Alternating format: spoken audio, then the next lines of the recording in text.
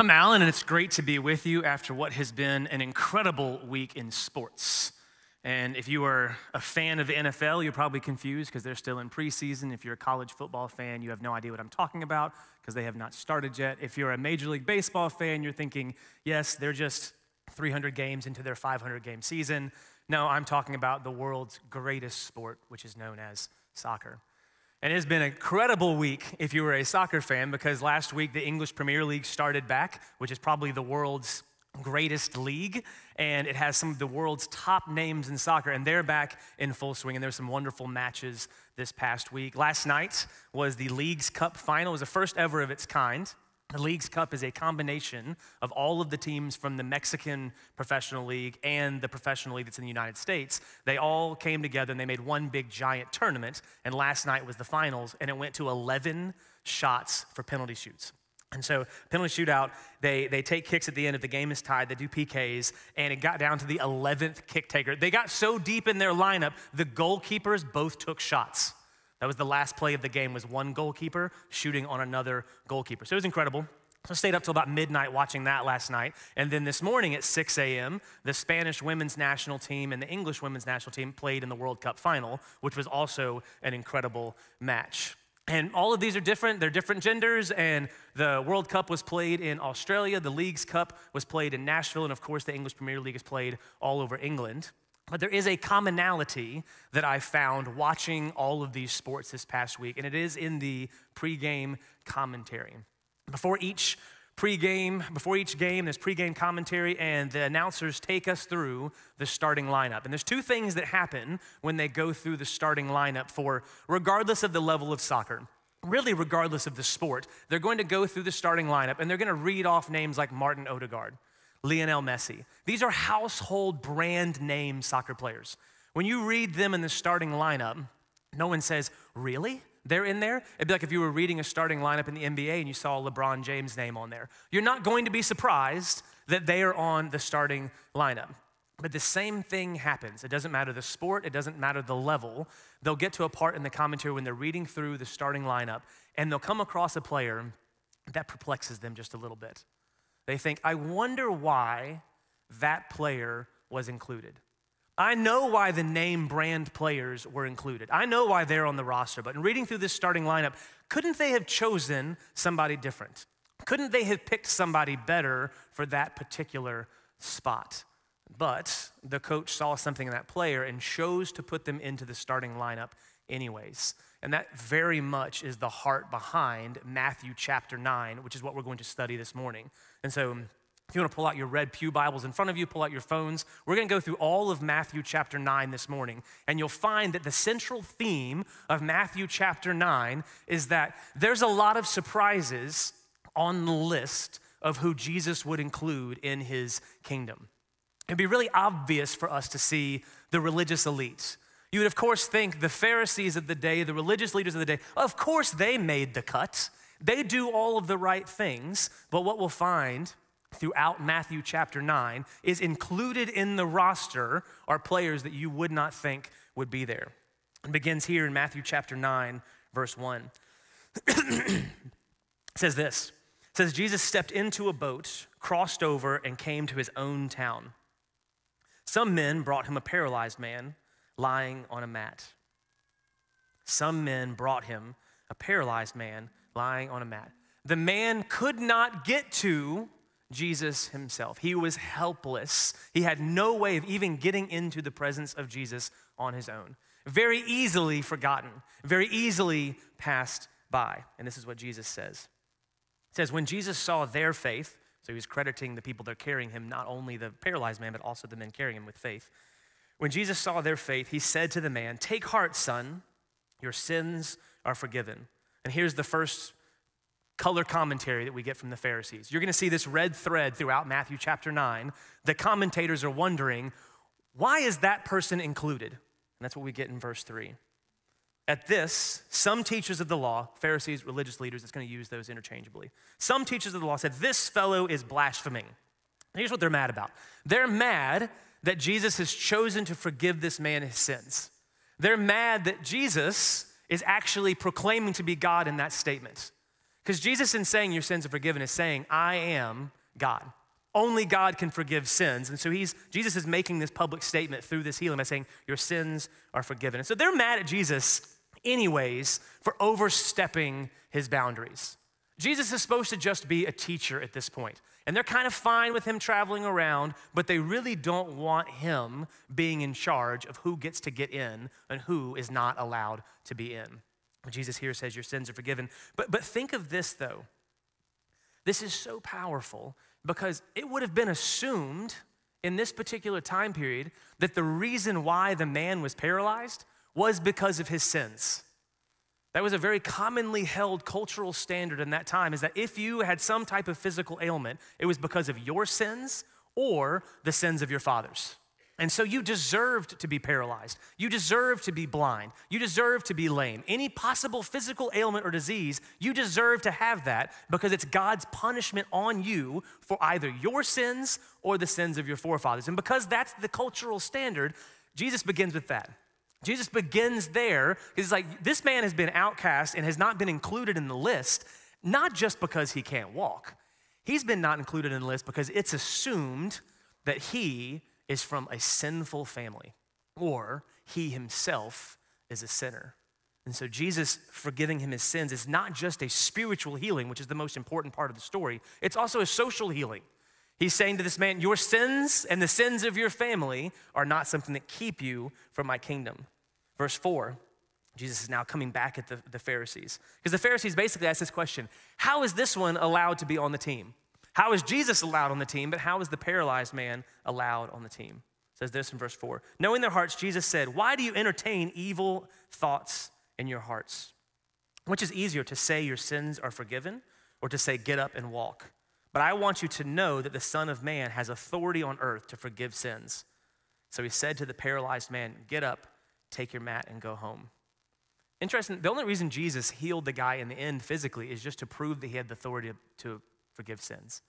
He's displaying that to be spiritually whole is way, way more important than ever being physically whole. But he makes the man physically whole to show him this man is a part of us. This man is allowed to be in our group. Then, verse 8 When the crowd saw this, they were filled with awe and they praised God who had given such authority to this man. And so, right here, we see that Jesus gathers the helpless. And those are not typically the people that we would include in the list. The Pharisees are really confused by this because, as we know, as Western Americans, God helps those who help themselves, right? It's scriptural. No, it's not. That's a lie. Please don't tweet that. God helps the helpless, God gathers the helpless. But in their understanding of who gets to be included, the only people that get to be included, the only people that God would gather, are those that have some type of value themselves. But we find in this first passage that God gathers even those who cannot physically get themselves into the presence of Christ. Moving on in verse 9, this is a passage that most of you will be familiar with. As Jesus went from there, he saw a man named Matthew sitting at the tax collector's booth, said, Follow me, he told him. Matthew got up and followed him. While Jesus was having dinner at Matthew's house, many tax collectors and sinners came and ate with him and his disciples. When the Pharisees saw this, here it is again, they understand why the religious elite would be welcome at a dinner with Jesus. If Jesus were sitting around and just meeting with all of the pastors and all of the key church members, they would be like, yeah, that checks out. But Jesus is not eating with those people. Jesus was eating with the people with, that had nothing to do with the church. Jesus was eating with the people that were actually robbing the church. That's what Matthew was. He was a tax collector, but really, probably more accurately, he was just a thief. He was stealing from other Jews. That's what tax collectors did. And so Jesus didn't come in and just meet with the good church people. No, Jesus sat down and had a meal with the sinners and the tax collectors. So, verse 11. When the Pharisees saw this, they asked his disciples, Why does your teacher eat with tax collectors and sinners? On hearing this, Jesus said, It's not the healthy who need a doctor, but the sick. But go and learn what this means. I desire mercy, not sacrifice for I have not come to call the righteous, but the sinners. Jesus is not giving them permission to continue sinning. That's not what is happening in this passage. It's not saying that sin does not exist, It's saying that your past sins do not matter in terms of whether or not you are welcome at the table. And so that's what Jesus is exemplifying here. He says, I didn't come to call the righteous. The righteous are already righteous. I came to call the sinner that they might become righteous. But of course, the Pharisees, they don't get that. They, they sit there and they look at Matthew and the tax collectors and the sinners and they think they've done way too many things to be included in this particular group. They've done way too many things in their past for them to be a part of us. He says this, he says, he says in verse 13, but go and learn what this means. I desire mercy and not sacrifice. What he's saying is, I desire for you to have a forgiving heart towards other people more than you do your religious practices. You can show up to church every single week. You can park in the same parking spot, which most of you do. I see your cars, I know where you park. You can show up at the same service. You can go to the same small group. You can tithe and recurring giving online. You can go to your small group on Wednesday or Tuesdays. You can show up and volunteer in the children's ministry, student ministry. You can go to your small group on Sunday nights. You can volunteer in VBS. You can go on the mission trip. You can do all of those things, all of those religious practices, but they are meaningless if you do not have mercy. That's what Jesus is saying. If you will not give people a second chance, you are missing the boat. And so Jesus here is demonstrating for us that he gathers the sinners. And this one applies to all of us. We may not have all experienced everything we're going to go through this morning in the passage, but we've all been that. We have all at some point been in our lives unworthy of the gospel of Jesus Christ. But he gathers us anyways, for we were spiritually sick and Jesus came to reach the spiritually sick. Verse 14 goes on. it says, Then John's disciples came, excuse me.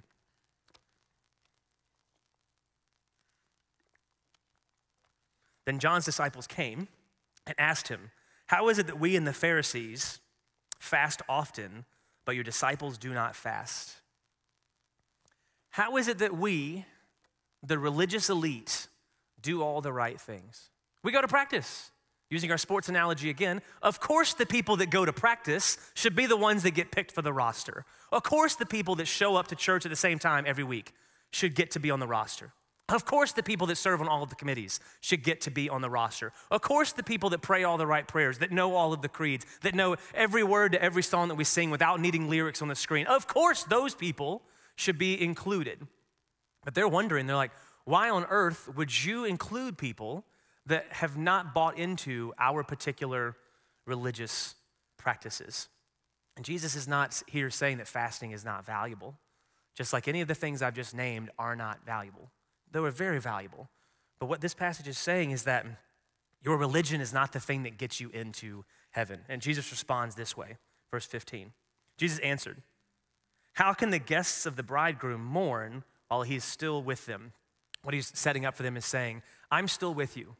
What you need to understand, I, Jesus, I am still with you, but I'm only gonna be here for a short time. And so, so that you don't get distracted by all of the religious dogma and practices that came before me, my followers aren't going to do them for a season. Because I don't want them to think that this is just an addendum. I don't want to think that just following Jesus is just a slight change of course. There is page upon page upon page upon page that they had received in prior generations that said, These are the things you're supposed to do to be a good follower of God. And Jesus is saying, I'm going to put some of those practices on hold. That's what he means. When he says the bridegroom is with you for a little while, he's saying, I don't want you to get distracted by thinking that the practices are the actual forgiveness and salvation themselves. So, goes on. The time will come when the bridegroom will be taken from them. Then they will fast so you see, again, religious practices are great. Reading your Bible is great. Prayer is great. Coming to church is great. Being a small group is great. Tithing is great. Serving is great. All those things are wonderful, but they are not the things that get you into the kingdom. They are not the things that get you into a restored relationship with Christ because that only, as the previous passage says, comes through God's mercy. And he says this in verse 16 No one sews a patch of unshrunk cloth on an old garment for the patch will pull away from the garment, making the tear worse. Neither do people pour new wine into old wineskins. If they do, the skins will burst. The wine will run out, and the wineskins will be ruined. No, they pour new wine into new wineskins, and both are preserved. Jesus is saying, I'm coming to create an entirely new paradigm. I'm not just here to adjust your thinking. I'm not just here to say, well, just add in a few of these things and subtract out a few of those things, and then we've got religion 2.0. That's not the goal. He's creating an entire new system. That's what he means by using new wine and new wineskins. Jesus is saying, You're going to have to do this new. And so, what he's demonstrating in this passage is that Jesus gathers the non religious. It can be a really big roadblock for a lot of people coming to church or getting into some type of group in a church that they're not religious enough for that group. I have this conversation with men all the time that are starting to come to a men's group that I lead on Wednesday nights. We'll have a new guy come and join our group, and I'll, I'll try and go to breakfast with them if I can if they're joining our group for the first time.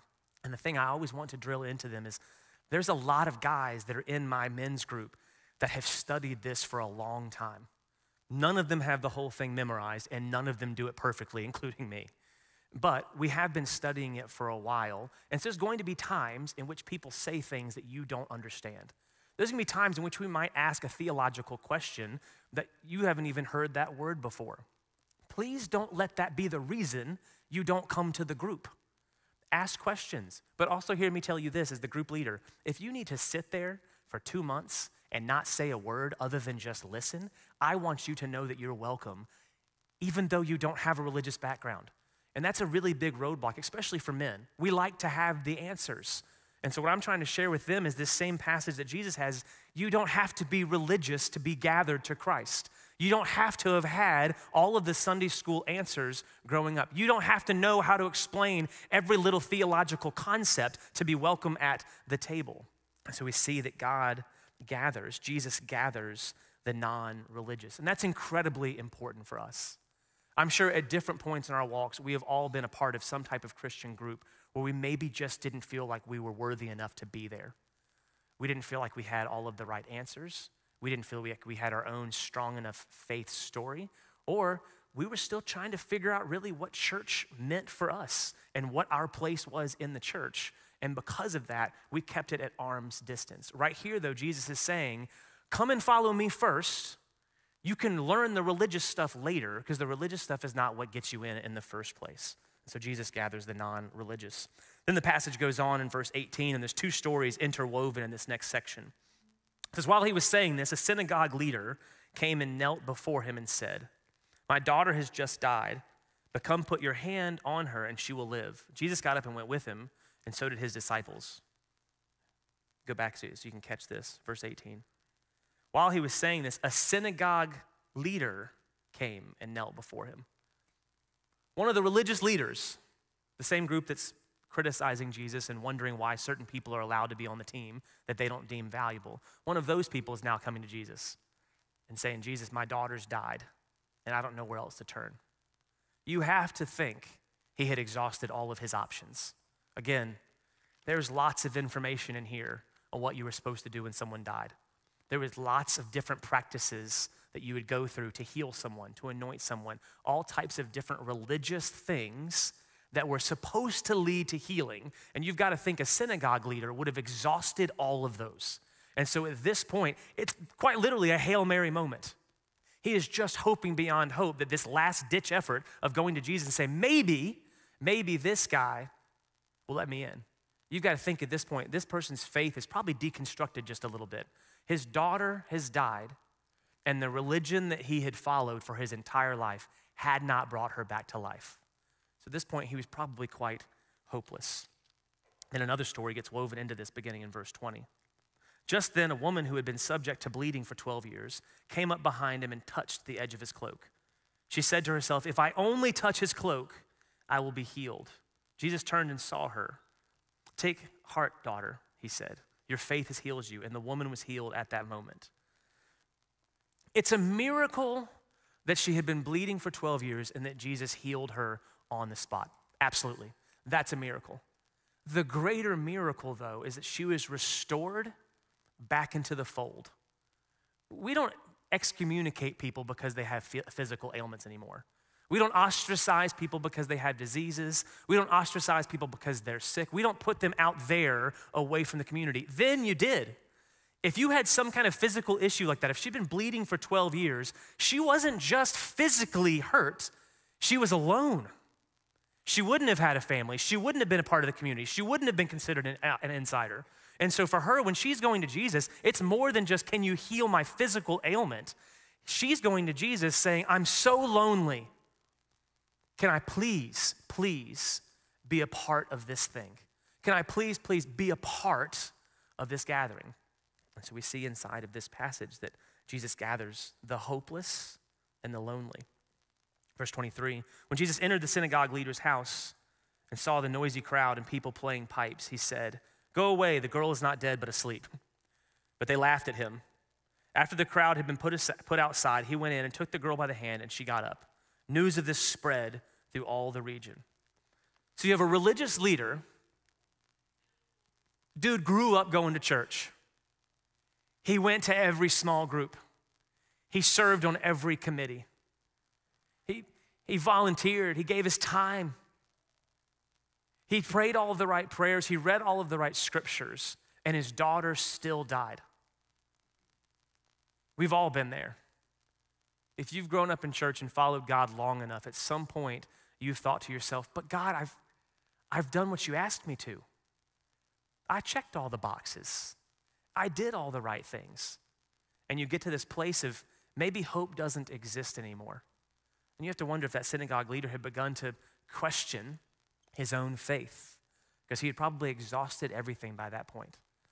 And so Jesus gathers the hopeless but then the woman that had been bleeding for 12 years, not just her physical ailment, but her ostracization from society, Jesus heals that.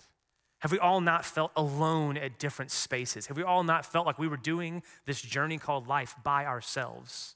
And Jesus gathers those people. The Pharisees would have said, Yeah, she's not one of us. She hasn't been coming to temple. Well, she didn't come because you wouldn't let her. It's a really weird double standard. But they would have said, No, you can't be a part of our group. And so they're really surprised at how Jesus can allow her in. Verse 27, our final narrative passage says, And Jesus went on from there. Two blind men followed him, calling out, Have mercy on us, son of David. When he had gone indoors, the blind men came to him and he asked them, Do you believe that I am able to do this? Yes, Lord, they replied. Then he touched their eyes and said, According to your faith, again, this is very different than what it would have been before. Before Jesus, it would not have been according to your faith. It would have said, according to X, Y, and Z that you just did the, the healing practice, the anointment, all of these types of things. It's important here. Jesus says, because of your faith, it has been done. And their sight was restored, and Jesus warned them sternly See that no one knows about this. But they went out and spread the news about him all over the region, anyways. I, I, wouldn't you? If you couldn't see your whole life and then all of a sudden some dude healed you, I think you would tell people. It's a secret that you wouldn't keep. Verse 32. While they were going out, a man who was demon possessed, could not talk, who could not talk, was brought to Jesus. And when the demon was driven out, the man who had been mute spoke. The crowd was amazed and said, Nothing like this has ever been seen in Israel. But the Pharisees said, and here's their hand grenade they throw at the very end. But the Pharisees said, It is by the prince of demons that he drives out demons. Saying that Jesus has just healed blind people, he's just removed a demon, an impure spirit from man, and made him be able to speak again. And they're like, We are tired of Jesus letting in the people that aren't supposed to be here. We're tired of Jesus gathering the people to him that we have not deemed valuable in being here. And so, you know what? We're going to lob that last little thing over the fence and we're going to call him the devil. We haven't really made it far as a society. When someone disagrees with us, it's really easy just to call them Satan. It's a wonderful verbal hand grenade to throw over the fence because those people over there don't fit our description of who we think should be included in the kingdom of God. But here, what we find is that Jesus gathers the blind and the silenced. This man had been silenced by a demon. He had no voice of his own, and Jesus gathers him too. Again, the color commentators of the day, the Pharisees, would not have liked that. You're not allowed to tell them that they're in. That guy can't speak. It means he's never been able to even say the right words. How on earth should he be allowed to be a part of our group? And so, the beauty of this this morning is that Jesus gathers all of us. In Matthew chapter 9, here's what you should find first and foremost is yourself. because at some point in your life, you've probably felt helpless. You've probably felt down on the mat and you could not even get yourself to feel like you were in the presence of God on your own. But Jesus gathered you anyways. At some point, we know this from Scripture all have fallen short of the glory of God and are sinners. So we're all guilty of the second one. We all are guilty of things that absolutely should prevent us from being a part of the kingdom. We've all done things that absolutely should exclude us from Christ's presence, but He gathers us to Him anyways. Probably many of us have experienced different phases where we didn't feel like we had the right religion. I tell this to college kids all the time. Listen, if you go off to college and don't find a church on Sunday mornings, but you find a small group on Thursday nights, that's awesome. That doesn't mean that you left the church, as all the statistics say. It just means that your church moved to Thursday nights. That's all it was. And so don't let people's religious dogma get in the way of you feeling like you're not a part of the group. And so, even if you don't come from a religious background, even if you don't come from a particular denominational background, Jesus has gathered you in that lack of religion to Him. We've probably all felt seasons of hopelessness and loneliness. We've all had seasons where we were blind and we were going the wrong way, even though we couldn't see it. And we probably all even felt at times that we didn't have the words to say. And so, the, the sugar in this, the beauty in this passage is that Jesus gathers all of us. But just like Mary Poppins says, a spoonful of sugar helps the what? Medicine go down. So, time for your medicine. Verse 35 Jesus went through all the towns and villages, teaching in their synagogues, proclaiming the good news of the kingdom, and healing every disease and sickness. When he saw the crowds, he had compassion on them because they were harassed and helpless, like sheep without a shepherd. Then he said to his disciples, The harvest is plentiful, but the workers are few. The harvest is plentiful, but the workers are few. What Jesus is saying is this there are so many helpless people out there. There are so many people trapped in a life of sin that is leading them nowhere. There are so many people that don't have the right religious words to feel like they're even comfortable walking into a place like this. There are so many people who, even if they had a faith life as a child, so many things have happened in their life, they have lost all hope. There are so many people that are lonely, that are blind, that are silenced, but there's not enough workers. There's too many people focused on those that have already been gathered. And there's not nearly enough workers going out and getting the people that need to. And so, what Jesus is saying in this moment, verse 38 ask the Lord of the harvest, therefore, to send out workers into his harvest field. And so, the sugar this morning is that Jesus gathers all of us. But the medicine this morning is that Jesus calls all of us to gather all of them. And the proverbial them is a whole big word. That's them as in the people that didn't grow up like you did, the people that look different than you, the people that have different worldviews and political ideologies than you do. What it's saying is that we are called to gather all of them, all of the people that we might deem not worthy enough to be on the list. Jesus is saying in verse 38 Ask the Lord of the harvest, therefore, to send out workers into his harvest field. And so, our calling as a church is to gather everyone to Christ.